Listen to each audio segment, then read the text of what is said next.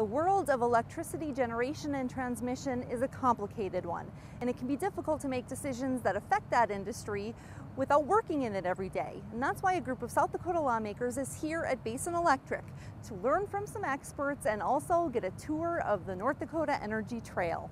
What can we do to influence the public's perception, uh, not only our own congressman and senator, but Charlie Hoffman is a representative from Eureka, South Dakota, one of about a dozen lawmakers taking the South Dakota Rural Electric Association up on a co op tour. Once they visited the cooperatives in their area, they travel to Basin Electric headquarters.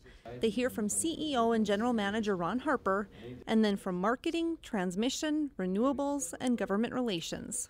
And anytime that anybody is willing to spend the time to educate them so that they can make better decisions as legislators, they're very appreciative of that.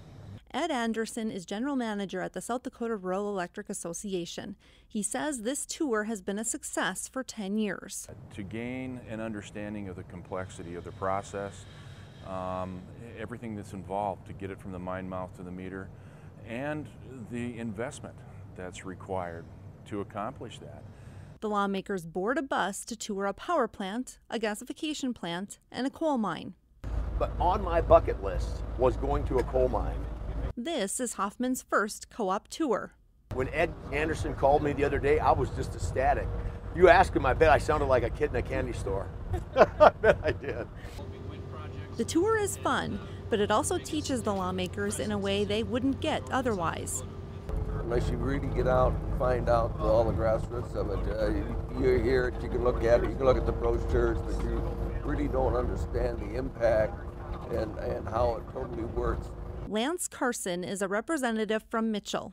He says lawmakers like himself need to get out and learn to make the right decisions. We need to get the education so we can have the background so we can make intelligent decisions on how which way it should be and how it should be.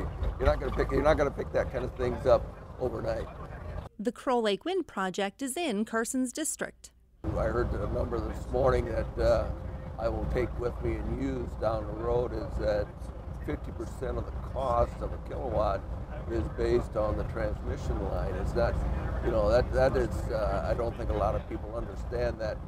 I understood the local uh, co-ops. I understand how those lines get built because I see them every day and I deal with those people. But I never, I never understood, and I have a much greater appreciation for what these people have to go through on a day-to-day basis, dealing with other power companies, dealing with building, uh, and, and that to me is amazing.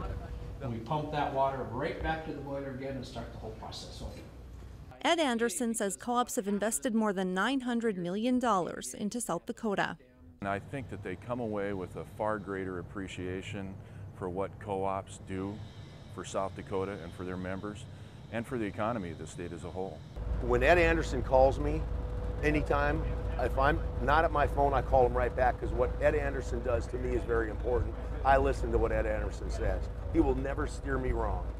A trip through Antelope Valley Station's model room and then through the power plant. So these guys normally work four days a week then, five days a week? Uh, Makes an impression. Our staff's here at 600 feet tall. Seeing is understanding. And understanding generates an energy of its own. It takes uh, three to four scoops to fill up our 240 ton haul trucks. On the South Dakota Lawmakers Tour with producer Karen Will, I'm Tracy Bettenhausen.